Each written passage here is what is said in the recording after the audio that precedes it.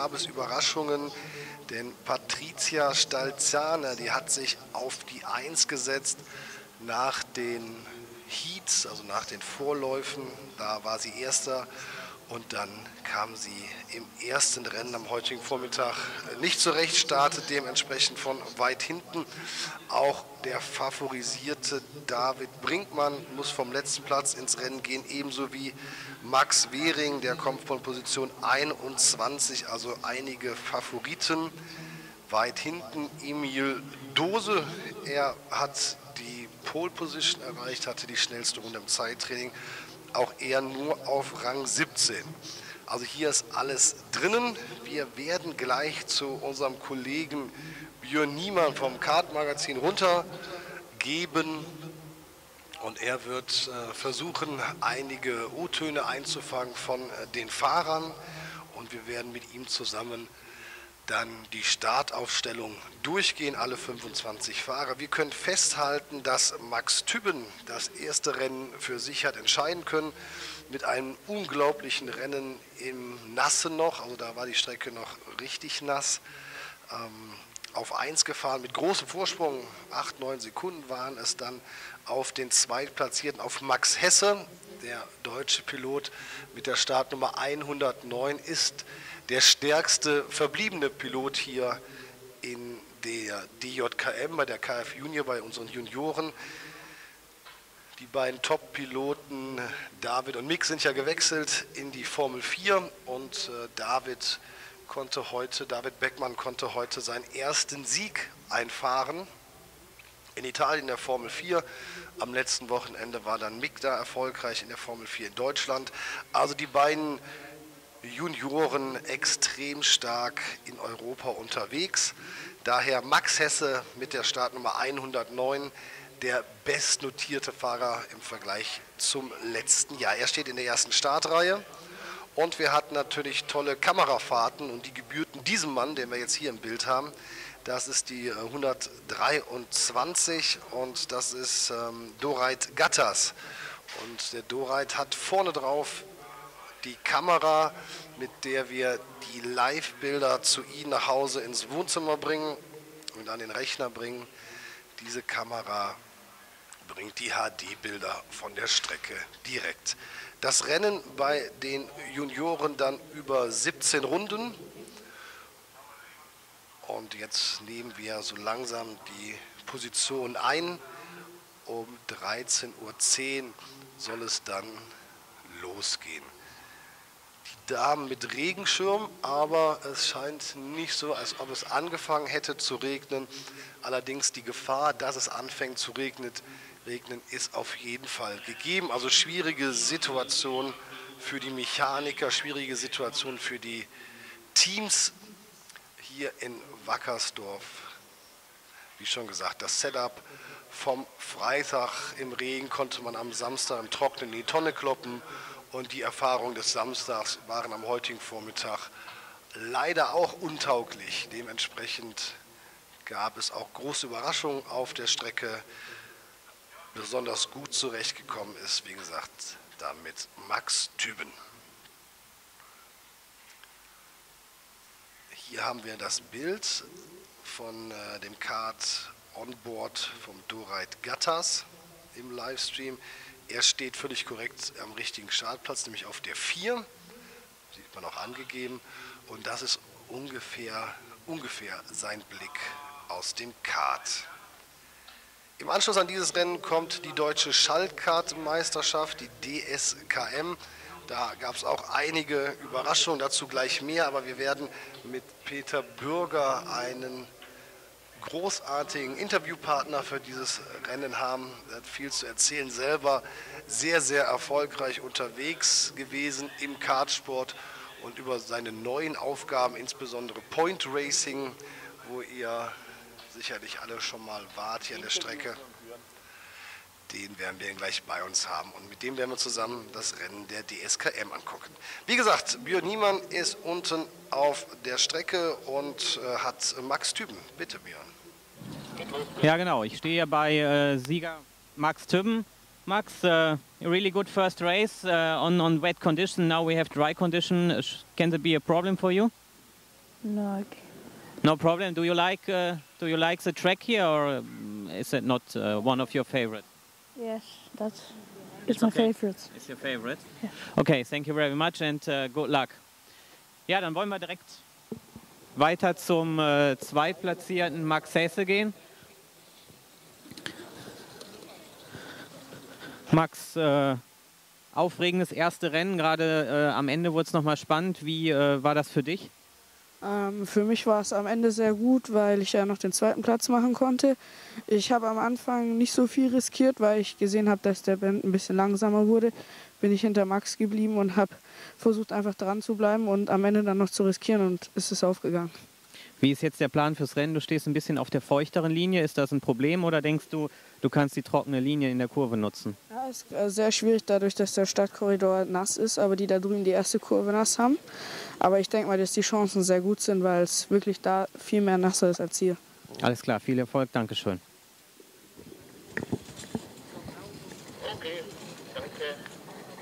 Irgendwie funktioniert das hier nicht. Die sind nicht gegangen, ne? Nee. Vielen Dank. Kannst du was auf? Das waren Max Tübben und Max Hesse, die beiden Max in der ersten Reihe im Interview. Und Max Tüben hat die Startnummer 133, steht auf dem ersten Platz auf der Pole Position.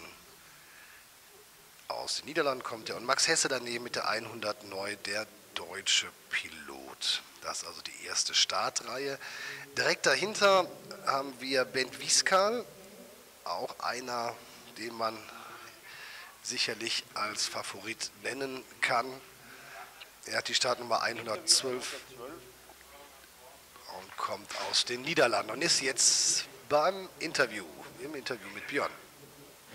Ben, wie war das erste Rennen für dich hier in Wackersdorf? Ja, ein bisschen scheiße, aber geht. Warum war es nicht so gut? Ja, es war nicht trocken und im Trocken bin ich ein bisschen schneller wie in, mit den Nasche. Also ähm, bist du jetzt eigentlich glücklich, dass wir keinen Regen mehr haben und wir jetzt hier mit Slicks an den Start gehen? Ja, sehr glücklich. Was rechnest du dir jetzt am Ende so fürs, fürs Rennen aus? Ich hoffe, erste zu werden. Okay, was sagt der Schrauber dazu, André? Schafft er den Sieg? Ich gehe davon aus, wir hatten gestern einen sensationellen Speed im, im letzten Heat und ähm, haben schön übers Wochenende das Kart verbessert, ein neues Kart aufgebaut und ähm, ja, jetzt schauen wir mal. Bin sehr nervös, wird schon klappen. Alles klar, ja, dann euch beiden viel Erfolg. Dankeschön.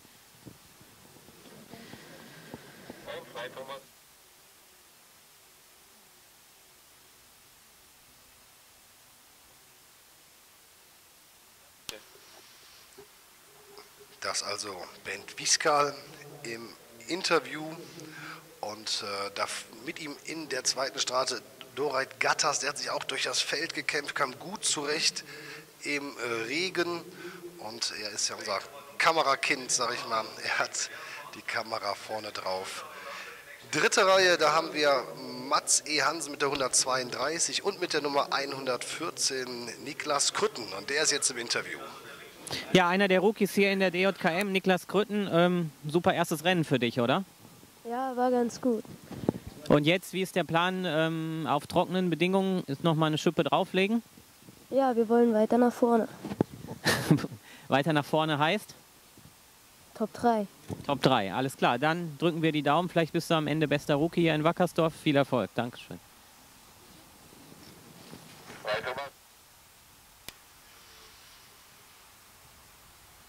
Das soweit Niklas Krütten. Eine Reihe weiter hinten in der vierten Reihe, da steht Luca Lipkau, der wirklich richtig gut unterwegs ist hier in Wackersdorf. Hier aber leider Probleme hatte, aber wirklich sehr, sehr stark ist. Da können wir uns noch viel von erwarten in dem nächsten Rennen. Start Nummer 124, der deutsche Pilot. Und neben ihm haben wir Luke Wankmüller, er hat die Startnummer 111. Gehen wir in die fünfte Reihe. Dort haben wir Noah Milian aus Schweden mit der 117 und Felix Arnold, Startnummer 144. Wir haben den Dänen, äh, Emil Dose, er hat die Startnummer 134 und er hat die Pole Position sich erfahren, also das Zeittraining für sich entscheiden konnte. Zwei Punkte dafür bekommen und hat jetzt Zeit für ein Interview. Ja, ich stehe hier beim Polstädter Emil Dose, ein Wochenende mit äh, Höhen und Tiefen. Emil, it was uh, yesterday a day up and down. You get, uh, you set the fastest time in the qualifying, and then you were last after the heats. What happened? Yeah, I got pushed. I was on the inside, and the the outside was driving into my bumper, and I go to the wall. But now uh, the first race, you um, you fight back forward on the 12th position. Now we have uh, dry condition also. Do you think you can go forward now in the race? Yeah, sure. I will do my best. You will do the best. What is what is your target? Um, about top seven, top ten. Okay, good luck and thank you very much.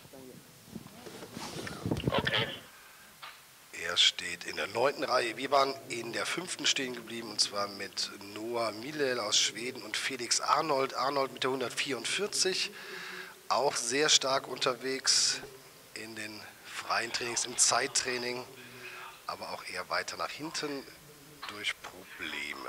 3-6 äh, Ido Cohn, Israel 135 und Ehren Köse 152 Türkei. Dann haben wir in der siebten Reihe die 130 Dennis Kram Niederlande und Phil Hill mit der Startnummer 120 aus Deutschland.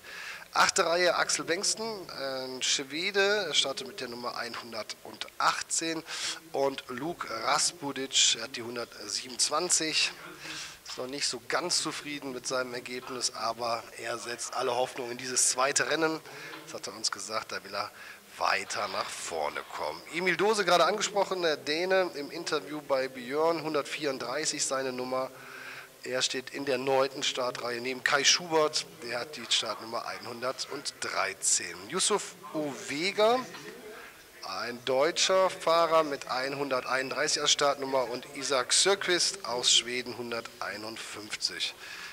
Reihe 11, Max Wehring, das war einer der Fahrer, der gerade eben ganz, ganz vorne mitgefahren ist, auf Sieg gefahren ist und dann gab es halt die bekannten Probleme. Dementsprechend steht er in Reihe 11, Startnummer 115, neben ihm 116 Daniel Fabster aus Schweden.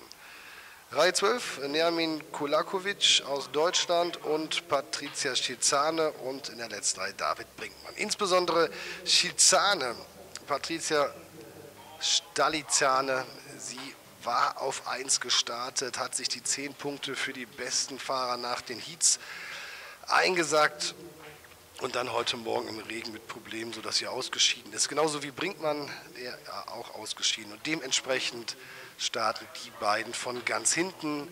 Beide aber auf jeden Fall mögliche Favoriten.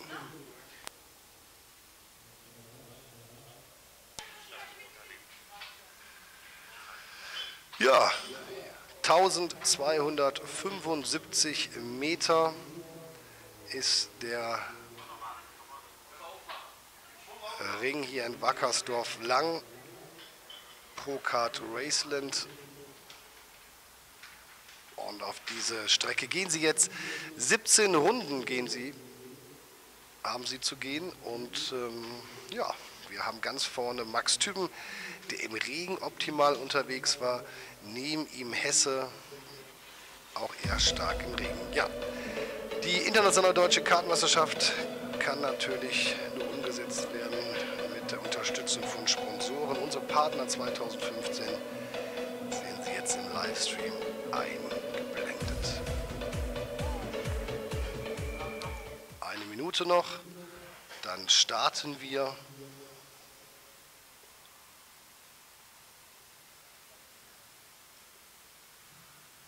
Dann starten wir in dieses Rennen.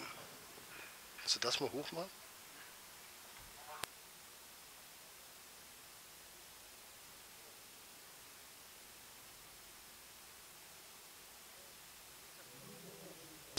von Vega High Technology in Karting Tires. Und jetzt wird es Zeit, dass es losgeht. 13.15 Uhr pünktlich ist der Start. Dann haben wir eine Warm-up-Runde. Dann kommt die Formation Lab und dann gibt es einen Rollenstart über 17 Runden. Die Pace machen vorne Typen und Hesse und dementsprechend ähm, gehen sie über Start und Ziel. Jetzt gehen wir in die Warm-Up-Lab.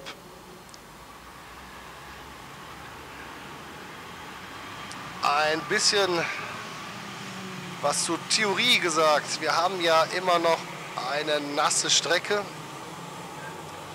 Hier nochmal für den Livestream eingeblendet. Unten, das sind die Fahrer, die Aufstellung Typen Hesse, Wiskal und Gatters in den ersten beiden Startreihen. Hansen und Krütten, Lipkau, Wankmüller in den Reihen 3 und 4. Und die weiteren Positionen sehen Sie jetzt unten eingeblendet. Wir haben ja die Ideallinie, die trocken ist, aber direkt nach dem Start, wir werden das gleich mal sehen, direkt nach dem Start ist ein Bereich, wo die Ideallinie äh, sicherlich trocken ist, aber beim Start müssen die Fahrer natürlich dann auch in das Nasse hinein. Vielleicht können wir es gleich mal sehen. Und das ist natürlich sehr, sehr schwierig, da zu starten und Vollgas zu geben.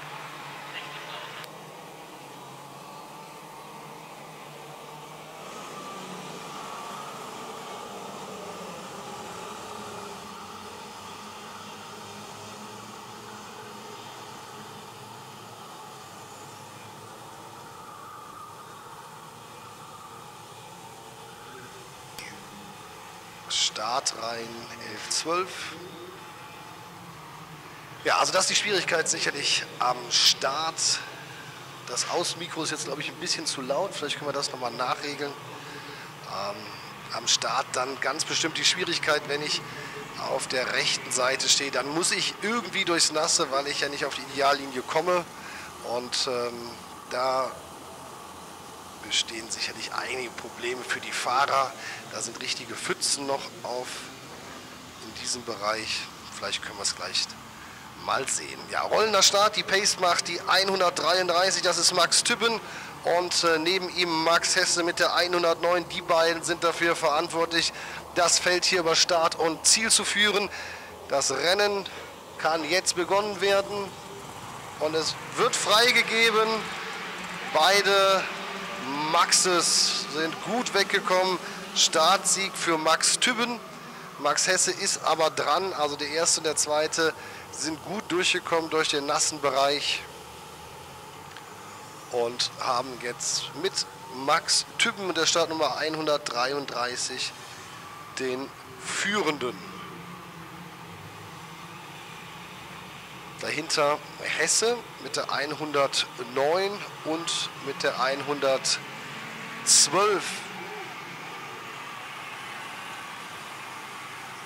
Bent Wieskal auf dem dritten Rang.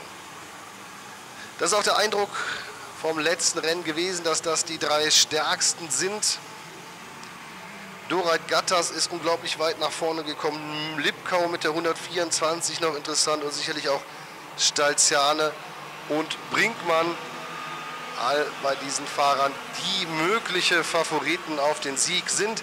Tübben vor Hesse. Niklas Krütten mit der 114 ist nach vorne gekommen, also von 6 auf 3.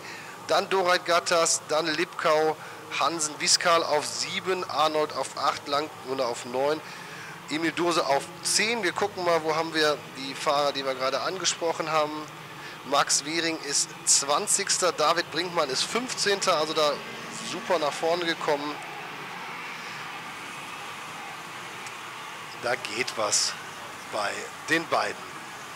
In Führung haben wir Max Tüben gehabt. Jetzt wollen wir mal gucken auf die Strecke, wenn wir jetzt wieder in den Livestream reingehen, ob Hesse hat vorbeigehen können. Und so ist es. Max Hesse auf 1, Tüppen ist zweiter, Krütten ist dritter, Gattas auf 4, Lipkau auf 5, Wankmüller auf 6, Wiskal 7, Arnold 8, Hansen 9, Dose 10.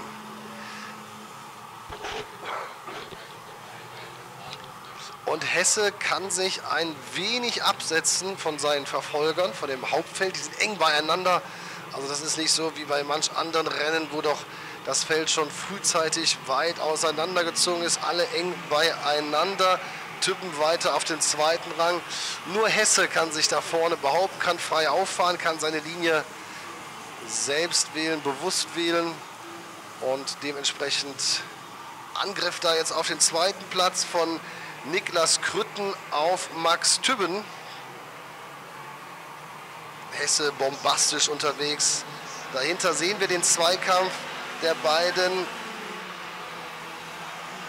Da haben wir den Zweikampf um den zweiten Platz. Luca Lipkau war es, der an Tübben vorbeigegangen ist. Ähm, Niklas Krütten haben wir verloren. Jetzt bleiben wir mal im Livestream dabei. Aber das Manöver gerade um Platz 2. Das ist Hesse. Dahinter, das ist Lipkau. Dann mit der 133, das ist Tübben. Und dann haben wir Doreit Gattas und Luke Wankmüller. Das die ersten fünf Positionen hier im Rennen. Und Hesse hat mittlerweile anderthalb Sekunden Vorsprung. Ein Crash. Und da gibt es Diskussionen auf der Strecke. Ein Crash und der war im Bereich des, wollen wir mal gucken, des Mittelfeldes. Ne, es war schon weiter vorne. Es war Arnold, Emil Dose, die waren daran beteiligt. Max Tübben war mittendrin, Doreit Gattas war dabei, Emil Dose war dabei. Die Startnummer 134 ist sogar raus. Emil Dose hat ein ganz schweres Wochenende. Er war der schnellste im Zeittraining. Und jetzt dieser Unfall, den wir gesehen haben, Luca Lipkau gerade eben die schnellste Runde. Zwei Deutsche vorne, Luca Lipkau für RMW Motorsport und Max Hesse ist jetzt auf 1, neue schnellste Runde, allerdings hier in Runde 4. Die kommen von Luca Lipkau. Wir sind gespannt, ob wir gleich nochmal eine Slow Motion bekommen von dem, was da passiert ist. Wir haben gesehen, dass auf jeden Fall Dose, Typen, Gattas und Hansen darin verwickelt waren in dieser Kollision. Die ersten beiden dementsprechend jetzt abgesetzt. Hesse und Lipkau vorne weg. Hesse hat sechs Zehntel Vorsprung und Lipkau hat insgesamt über zwei Sekunden Vorsprung. Da sehen wir es. 064, er verliert. Hesse verliert auf Lipkau, der wie gesagt schon extrem gut hier unterwegs ist in Wackersdorf und er kommt jetzt Hesse immer näher. Da sehen wir es 1,76 Sekunden in Runde 3, eine Sekunde in Runde 4 und jetzt sechs Zehntel in Runde 5. Und wenn es so weitergeht, kommt er dann auch in Schlagdistanz kurz. So bleiben wir mal hier bei den beiden. Dahinter der Zweikampf zwischen Wankmüller und Arnold. Und da ist der Angriff von Lipkau. Vier Deutsche vorne. Und Max Hesse muss Luca Lipkau jetzt passieren lassen. Luca Lipkau auf 1. Hat sich natürlich an den Zeiten angedeutet. Lipkau fährt jetzt eine 54,3 und Hesse eine 55,3. Das natürlich die Entscheidung, dass er da vorbeigehen konnte. Dahinter haben wir Wankmüller gegen Felix Arnold. Das ist der Kampf um Platz 3. Hier nochmal die beiden Führenden. Dann vorne der Fahrer mit der Startnummer 111. Das ist Wankmüller und dahinter die 144. Das ist Felix Arnold. Und hier sieht man, dass Max Hesse auch verliert gegen Wankmüller. Runde 4, 3 Sekunden, Runde 5, 2, 88, Runde 6 noch 1,86 sein Vorsprung. Also die Jungs kommen dem Max Hesse da auch immer näher und man sieht auch, dass sich vorne jetzt Luca Lipkau doch schon deutlich absetzen kann. Also Luca Lipkau fährt ein bombastisches Rennen und holt innerhalb von zwei Runden, wenn wir es jetzt richtig sehen, nahezu zwei Sekunden raus auf Max Hesse. Genau, so ist es. Neue schnellste Runde jetzt von Felix Arnold auf dem dritten Rang. Arnold ist die 144, die jetzt vorbeigegangen ist. Und der macht Druck auf Max Hesse. 53,7 von Arnold, 54,8 von Max Hesse. Eine Sekunde wieder abgeknabbert. Wankmüller ist auf 4 und auf 5, das müssen wir erwähnen. Der kommt von 25 auf 5 nach vorne gefahren. David Brinkmann und das in sieben Runden. Bombastische Leistung von dem jungen deutschen Piloten. Er fährt eine 54.0, ist dann auch auf dem Weg Richtung Wankmüller. Rückstand noch viereinhalb Sekunden, aber es sind ja noch über zehn Runden und er fährt jede Sekunde, jede Runde rund fünf bis sieben Zehntel besser. Wir sehen, Max Hesse gerät jetzt unter Druck. Vorne, da ist Lipkau, aber Hesse jetzt unter Druck und von hinten kommt die 144, das ist Felix Arnold. Und da haben wir schon Brinkmann mit der 122 im Bild. Aber bleiben wir bei dem Kampf um den zweiten Platz. Luca Lipkau, Max Hesse ist nicht mehr der Zweite. Das ist Felix Arnold. Hier die Einblendung ist nicht korrekt, denn er ist schon vorbeigegangen. Felix Arnold ist auf dem zweiten Rang und Max Hesse ist auf Rang 3 zurück. Lipkau, Arnold, Hesse, Wankmüller, Brinkmann, fünf Deutsche auf den ersten fünf Positionen und die haben wir jetzt hier schön im Bild. 1, 2, 3, 4. Und dann hinten dran David Brinkmann fürs KSM Racing Team mit der Startnummer 122 unterwegs. Was für eine fantastische Leistung von ihm von Platz 25 auf Platz 5 nach vorne gefahren. Überragend, also fünfter und er hat auf den ersten nur sieben Sekunden Rückstand. Also da haben wir eine außerordentliche Leistung. Aber auch Lipkau sehr stark unterwegs. Der Luca ist gekommen von Position 7 auf 1. Und jetzt dreht sich Luca Lipkau um, denn er merkt hinter ihm, da taucht Felix Arnold auf. Und der macht richtig Druck. Felix Arnold in den Zeittrainings extrem stark unterwegs, dann mit kleineren Problemen, musste von der Position 10 ins Rennen gehen hier, aber der fährt jetzt auch auf.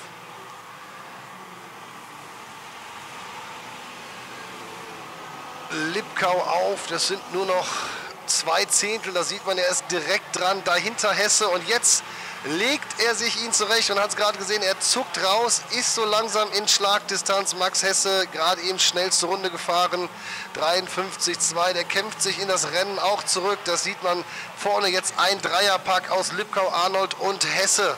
Und die Frage ist, kommt der Angriff von Felix Arnold auf Luca Lipkau? Er ist jetzt in Schlagdistanz. Noch kein Angriff und dahinter lauert Hesse. Also das ist eine ganz spannende Geschichte ob Hesse versuchen wird, dann in den Überholvorgang einzugreifen. Da ist der Überholvorgang und da ist der Konter. Kurz war er da vorbei, Felix Arnold, aber der Konter von Luca Lipkau und das war eben der Punkt für Hesse. Aber er kam nicht in die Innenseite rein. Jetzt ganz nah dran. Er hat den Überschuss. Felix Arnold hat den Geschwindigkeitsüberschuss und wird jetzt wieder versuchen anzugreifen. Auf Platz 4 Luke Wangenmüller weiter, auf 5 weiter David Brinkmann.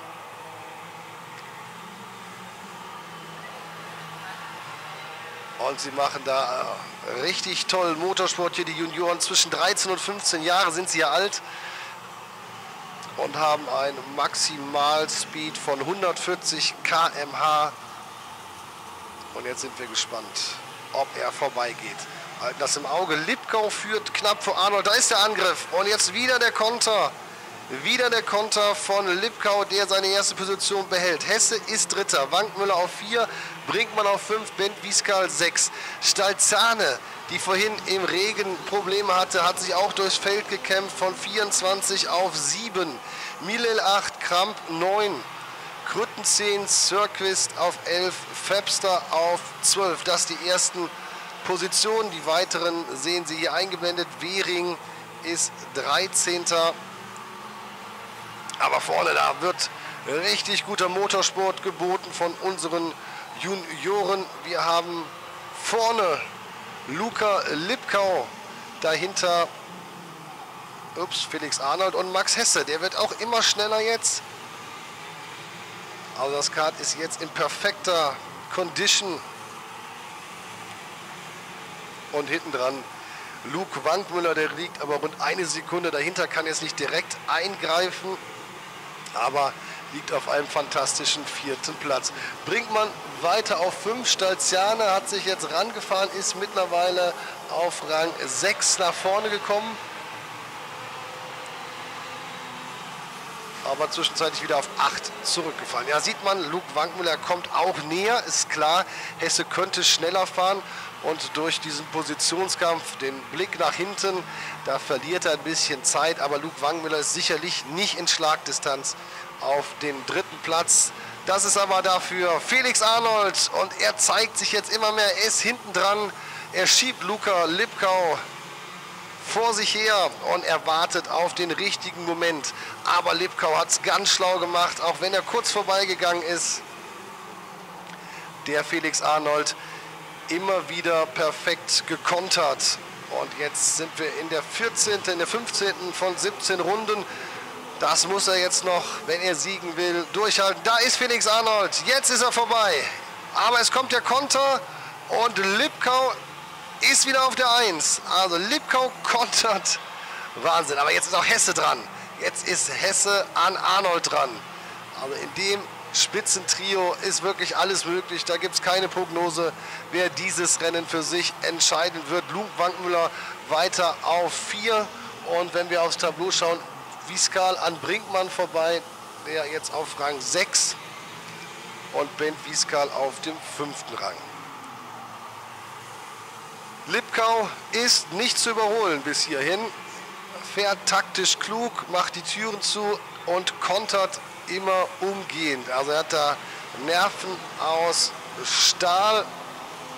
Und auch wenn Arnold, oh, da hat er ein bisschen gerutscht, aber keiner der Fahrer konnte daraus Profit schlagen. Lipkau auf 1, Arnold und jetzt, da war der Fehler.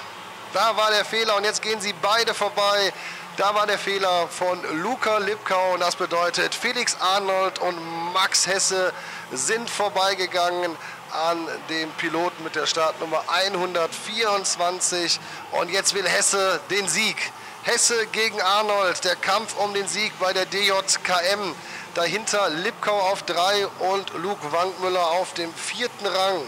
Und wir sind gespannt. Wir sehen jetzt gleich, dass die Rennleiterin Karin Medefin, sie schenkt das Schild hoch mit Last Lap. Sie gehen in die letzte Runde und Arnold gegen Hesse. Und Hesse hat uns vorhin in der Mittagspause gesagt, dass er den Sieg will. Jetzt wollen wir schauen, ob er in eine Position kommt, wo er einen sinnvollen Angriff setzen kann. Ansonsten würde ich sagen, nimm die Punkte mit. Der zweite Platz, auch ein tolles Ergebnis. Die Saison ist lang genug. Aber wenn er in die Position kommen wird, dann wird er angreifen. Und jetzt ist er dran. Hesse ist dran. Der Kampf um den ersten Platz entscheidet sich jetzt in der letzten Runde. Hesse zeigt sich. Arnold macht zu und er bleibt dran. Aber das wird Arnold für sich entscheiden, so er denn keinen Fehler machend. Und wir sind jetzt in der Zielanfahrt, Startziel. Und der Sieg geht an Felix Arnold mit der Startnummer 144. Max Hesse, zweiter, Wankmüller, dritter. Lipkau, dritter, Wankmüller, vierter, so ist es richtig, Entschuldigung. David Brinkmann erkämpft sich einen überragenden fünften Platz zurück. Von 25 ist er ins Rennen gegangen auf 5. Patricia Stalizane, sie kommt von Platz 24 auf 8 nach vorne. Max Wiering mit Schwierigkeiten von, aber er kommt trotzdem von 21 auf Position 12 nach vorne. Leider, leider gab es ja die Kollision da mit Doreit Gattas. Deswegen findet der sich nur auf 20 wieder. Emil Dose ausgeschieden und Max Tüben, der Sieger des letzten Rennens und der Polesetter und derjenige, der hier geführt hat, er auch nur auf Rang 22. Also da geht einiges durcheinander, durcheinander im Sinne von Punkte. Es gibt kaum einen, der in beiden Rennen stark äh, gepunktet hat, außer Hesse. Er ist der Einzige, der wirklich viele Punkte geholt hat und dementsprechend wird er jetzt die DJKM als führender nach Genk führen. Ja, Typen mit Problemen, Gattas mit Problemen, also der erste, der vierte mit Problemen.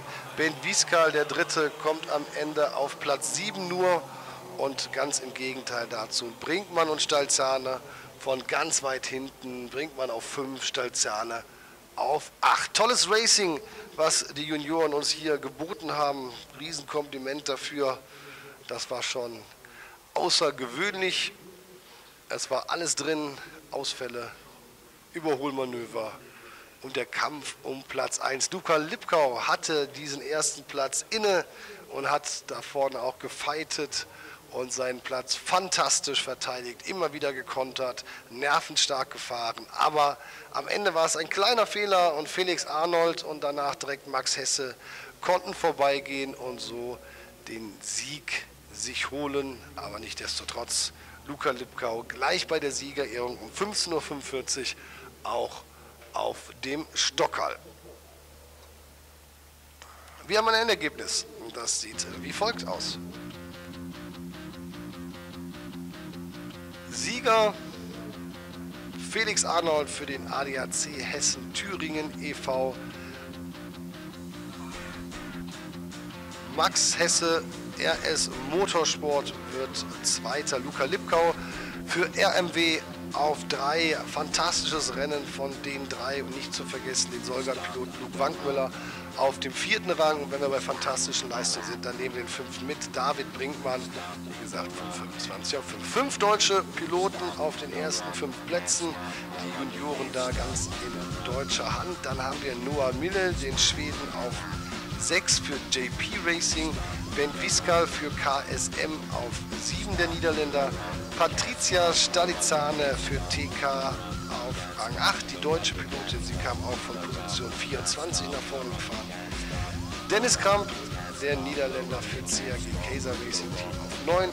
Isaac Sjöfquist, Schweden für TK auf 10. Köse für KSM, der Türke auf Rang 11. Max Wehring, CAG Holland, der Niederländer auf Rang 12. Schade für Max Wehring, der ja auch sehr stark unterwegs war.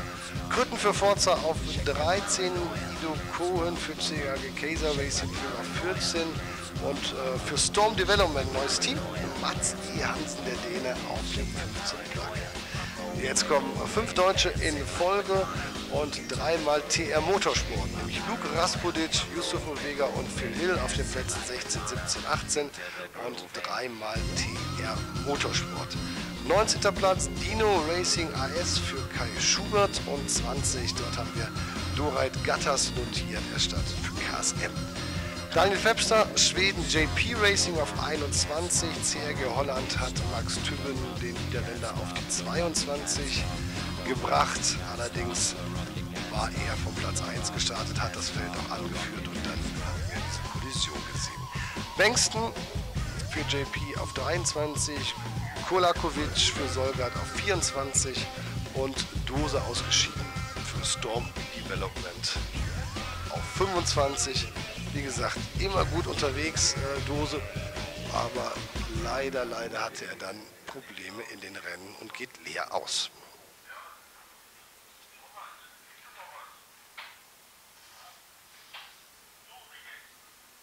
Soweit die Junioren. Jetzt kann fleißig gerechnet werden und der Kollege Björn Niemann wird gleich die weiteren Fahrer vorstellen, wieder auf der Strecke. Und dort sind wir dann bei der DSKM, bei der Deutschen Schaltkartenmeisterschaft zu Gast, haben einen Interviewpartner hier oben bei uns. Björn wird auf der Strecke einiges zu berichten haben und dazu melden wir uns um 13.50 Uhr live aus Wackersdorf zurück. Und dann haben wir Marco Zanketta, Mike Siebecke, die wir präsentieren können. Wir haben den vierfachen DSKM-Champion Jorit Pex.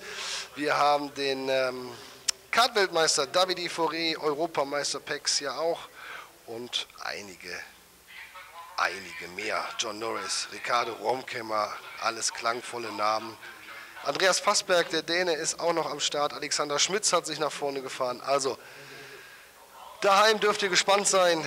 Holt euch noch einen Kaffee, Brötchen oder was auch immer ihr wollt und dann geht's gleich los. In zehn Minuten melden wir uns wieder live aus Wackersdorf. Bis dahin.